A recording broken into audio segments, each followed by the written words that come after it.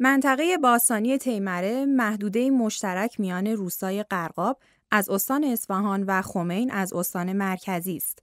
مجموعه تاریخی سنگنگاره ها و منظر فرهنگی تیمره در دل این منطقه در سال 1389 و نخستین نقش کنده ها در سال 1378 ثبت ملی شده و در حالی که هزاران بوم سنگی نقاشی در تیمره منتظر بازدید کنندگان داخلی و خارجی هستند، حضور معادن خصوصی که مجوز فعالیت خود را در سال 1387 از سازمان صنعت معدن و تجارت دو استان اصفهان و مرکزی اخذ کرده اند، به یک نگرانی جدی برای این منطقه گردشگری تبدیل شده.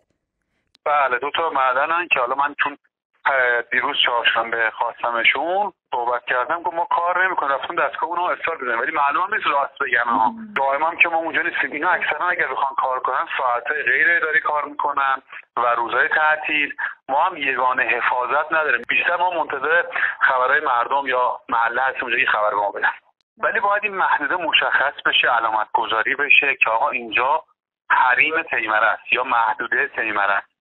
ولی تا حالا نشده؟ تا این کارم انجام نشه عملا به نتیجه نمی‌رسیم. حالا شاید اون طرف بشن هزار تا سنگنگاره باشه یه معدنی اون ور داده باشن. فقط گل پایگان نیست خمین هم هست. باید همشون با هم انجام بشه. برخی نقاشی های تیمره هفت هزار سال قدمت دارند و در تپه های سیاه رنگ محدوده ثبتی پراکنده شده اند.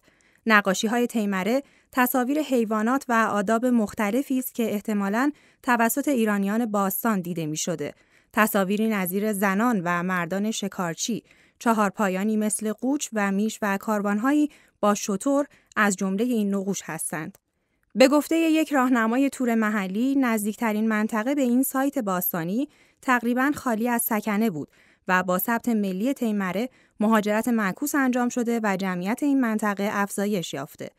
از سال 87 سه معدن سیلیس هر کدام در مرزهای منطقه ملی تیمره مشغول فعالیت شده اند و تجمع نخاله های معدنی در تیمره از جمله آسیب های آن است. الان کار نمی کنم ما روز سهشنبه ما یگان حفاظت اون محل بازی رفتن و خب یه قسمت هایی به صورت دستی شروع به جمعآوری مثلا سنگ ها کرده بودن که با مامورین نیروی انتظامی اونجا اختار مجدد داده شد.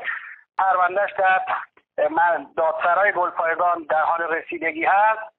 ما اکثر یعنی کل انرژیمون رو گذاشتیم که بتونیم پرونده رو سرانجام برسه. یعنی مهمترین آسیبی که در حوزه سنگنگاره ها و بحث حفاظت این آثار وجود داره همین فعالیت معادن هست.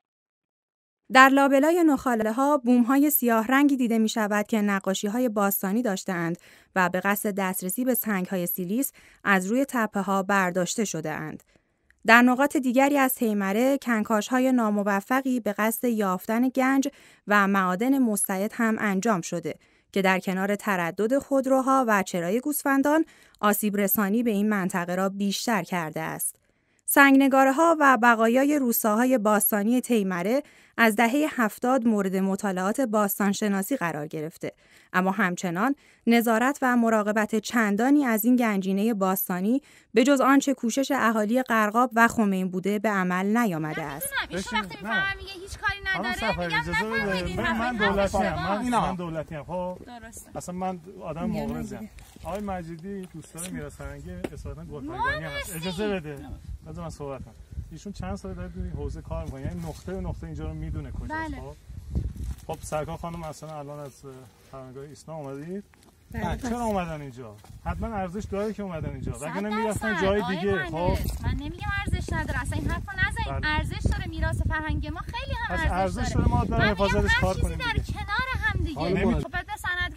زندگیش فلج بشه مهم نیست. فقط من میگم آقای یه چیزی من میگم یکی بدونیم این خطها رو کی کشیده؟ یک آدم هنرمند کشیده یا دو هزار سال پیش یک چوپان کشیده؟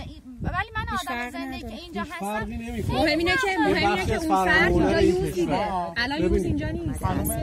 معادن سیلیس در مهر امسال با ورود استانداری و دادستانی گلپایگان دستور توقف گرفتند اما حالا چند روزی است که فعالیتشان را بی سر و صدا آغاز کردند و برای این اقدام توجیهاتی مثل تکمیل فرایندهای گذشته را عنوان می کنند. توجیهاتی که البته دردی از حیمره دوان نمی کند.